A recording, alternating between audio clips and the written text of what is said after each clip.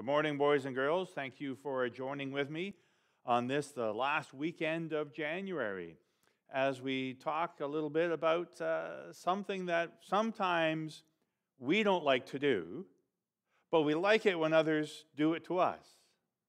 And that is sharing. Sharing our toys, sharing our, our skills, our help, sharing our candy sharing all sorts of things. We don't really, sometimes we don't really enjoy doing that sharing. Well, here's a story called God, I Need to Talk to You About Sharing.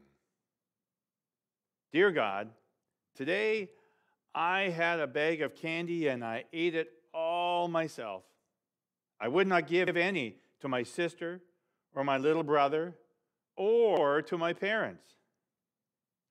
Yesterday, I had a bag of popcorn at the movies, and I did not share any of it with my friends.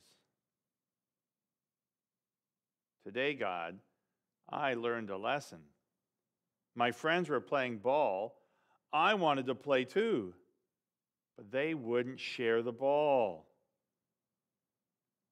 I went home. My brother and sister and parents were eating a big bowl of popcorn they would not share it. I felt lonely. I felt angry. I sat on my back stairs. My family came outside. Then my friends came around the side of the house.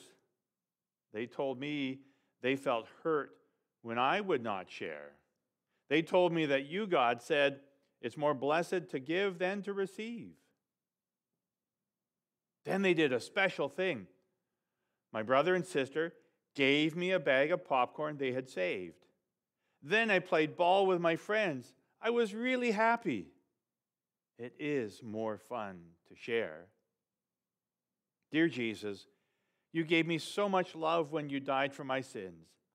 And I know you shared with me all the things that I have.